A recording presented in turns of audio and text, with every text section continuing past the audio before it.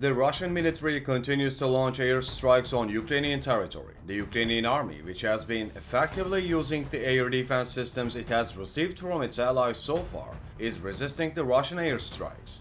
Russian military launched another airstrike on Ukraine with Iskander-M missiles and drones.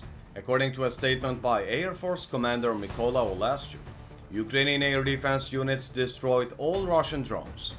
On the night of July 11, Russia struck Sumy region with two Iskander-M ballistic missiles from the Kursk region and attacked with six Shahed 131-136 attack UAVs from the Russian city of Primorsko-Akhtarsk.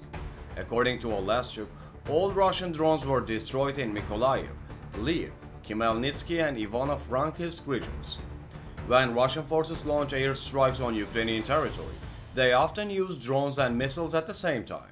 An example of this is the Russian attack on July 10. The Russian attack with one Iskander missile and 20 drones hit the port infrastructure in the Odessa region. Ukrainian air defense systems destroyed 14 of the 20 drones.